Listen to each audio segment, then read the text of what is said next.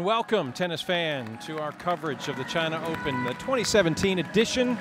Johanna Konta, the sixth seed from Great Britain, uh, makes her bid for a second round berth against Monica Niculescu of Romania.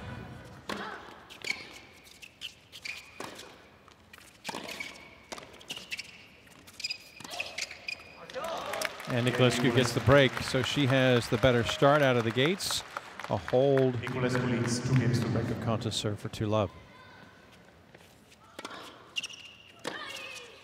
Oh, quality return. Uh, whether Niculescu heard the footsteps of the charging Johanna Konta, she delivered the perfect response. to just questioning everything now as she looks up and sees nothing.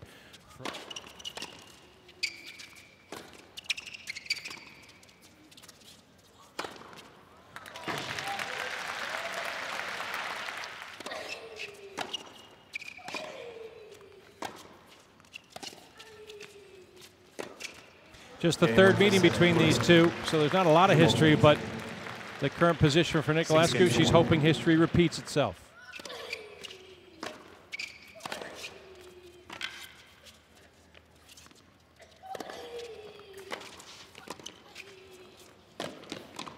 Nice finish for Niculescu as she starts her opening service game.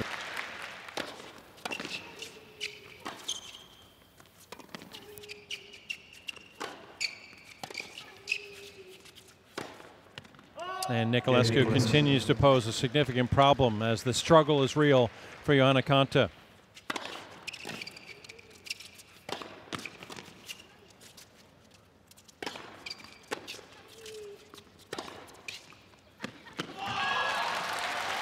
Just about got away with that one. Actually, pretty sensible to hit the high ball. Juice.